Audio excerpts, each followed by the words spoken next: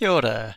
In this short video, we're going to look at how to use scripts and install a user script manager uh, for MusicBrainz and also for other websites as well.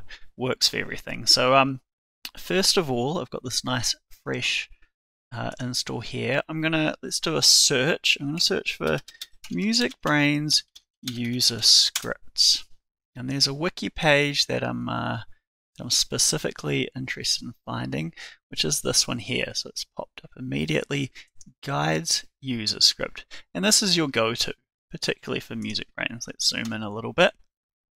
Uh, this is going to have everything that you need on it. It's a list of all the scripts that run with MusicBrainz, all our import scripts, um, miscellaneous, uh, recordings, make things easier for editing, display cover art, um, lots of cool stuff. But now just to uh, install our user script manager, we just need this top part here. Um, and this is all pretty, pretty nice and straightforward. What you can do is you can start with your browser at the top here. Now I'm using Chrome but you might be using one of these others, the steps should be fairly similar in all of them.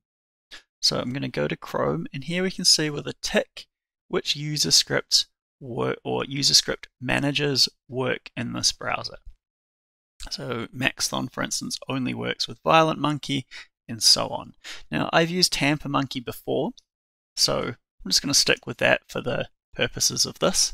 Click on that, uh, again, this is for Chrome specifically, uh, but the steps should be similar for your browser as well. So I'm going to click here, add to Chrome, to add extension.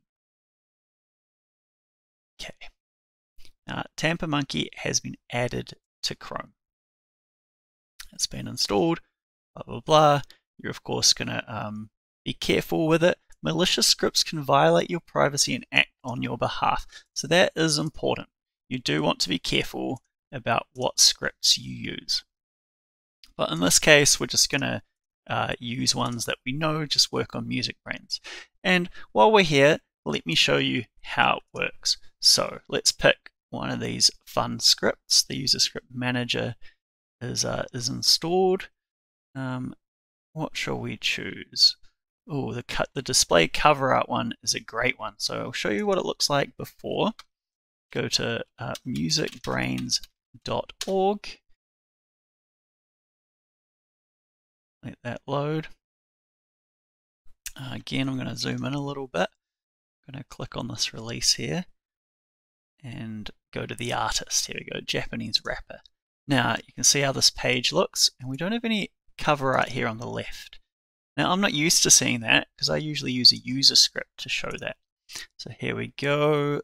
Uh, let's use the menu. Here we go. User script cover art. Now, Funkey Illustrated Records. I'm going to click on the download button here. It's going to take us to this page, and now we can click install. Again, this is going to vary depending on your browser, your user script manager, but should be similar. Now, what we want to check here, and now this is a safety precaution, Okay, if you if you're not familiar with a script, not sure what it does, to check what it includes. Now this is the pages that it can run on. What you don't want to see here is uh, everything. You know, you you want to make sure this is locked down, and you can uh, you can change this after running it, after installing it, change it yourself.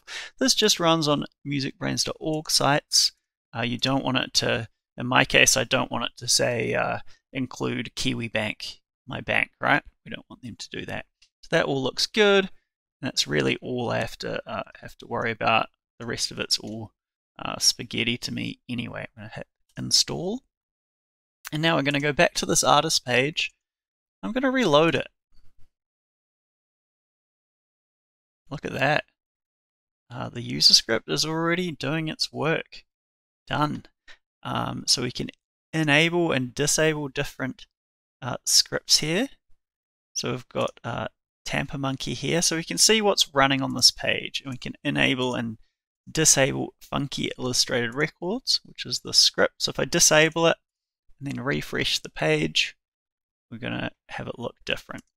Um, some of these also have um, here we go, we can edit. So in this one here, we've also got, um, so we're, we're getting into the advanced territory now. That's really it. If you'd like, that's what you can do. You can you can install your manager and then just start installing these and ena enable and disable as you please through the menu.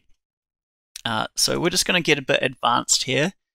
And um, Jesus2099, who's the author of Funkey Illustrated Records, has given us some things to edit here as well. So uh, I'm just going to show you what we can do in the options here. So uh, Big Picks displays big picks uh, discography and main artist page, small pics displays small pics. Okay, so what I'm going to do, sorry, I'll just uh, re-enable that script. Oh, still disabled. There you go, enabled. Okay, here we go, we're going to reload. Now, I only want images in the side here. So I'm going to go here into big pics. I'm going to change that to false.